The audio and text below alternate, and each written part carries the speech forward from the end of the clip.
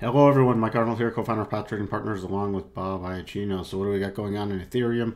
Ethereum rotating back up, letting H catch up, coming to the next cluster area. That's why you got to pay attention to these cluster areas and at least raise stops or take some profits.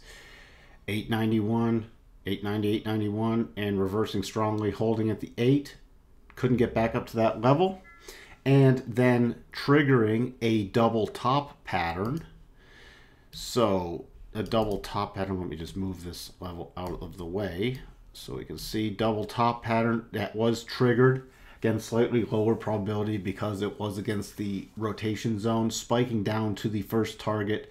We didn't get any bias signal here, but it did hit the first target, 853.07, and bouncing back up. Still watch if it closes below the rotation zone. Watch for return 853.07, 846, and 839.10.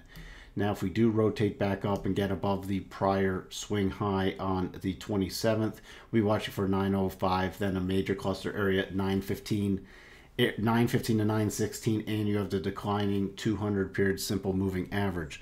Let's check in on the daily chart to help us fine tune this. So, see spike up through the rotation zone, collapse back down, close in it, spike up through the other side. It can't get through it and close on the other side. It can get temporarily through it, but sellers come in. Now it looks like unless we get a big rally, it's going to close back in the rotation zone or possibly lower if this double continues to unfold. So that's what we're watching for in Ethereum. Sellers still coming in, so mind the rotation zone, just like in the other ones we've talked about, other currencies where the rotation zone is against us.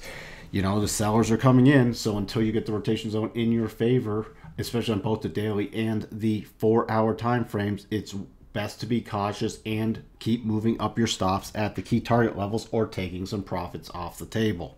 Taking a look at Monero, Monero triggered our horizontal pattern coming up to the full targets of 306 to 307 area then reversing retesting that area then forming a double. It's a very sloppy double lower probability but it did trigger against the rotation zone so right now came down, hit our 25% retracement level 284. The targets on the lower probability double top 283.61, 279.41, and 275.22, which would take it to a prior breakout level.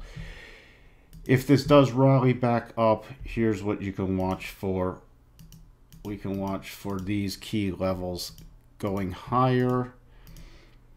We will watch for the cluster area 313 to 314 and then 320 roughly the end of this clear path and major resistance up here. You see over here to the left hand side selling selling selling selling. This is prior major resistance so really pay attention on a rally back up to this 320 level. We've not closed below the rotation zone yet but if we do close below the rotation zone then watch for these uh, targets to unfold in this sloppy double top Let's switch over to the daily. How check out how all this looks on the daily. So again, you see this upper level is very key. There's a lot of selling coming in when it was up there back uh, about about a week and a half ago. So that's going to be pay attention that continued selling if it does get back there. It's now still holding the rotation zone on the daily. It did spike into it, but again, if it does trigger these patterns, the bottom of the rotation zone is roughly where the second target is this about 283, 284 level. And if we do get through that, then we could easily see that return to that 275 level. That's what we have for you on your Monero update and also the Ethereum update. And we'll talk to everyone soon. Bye for now.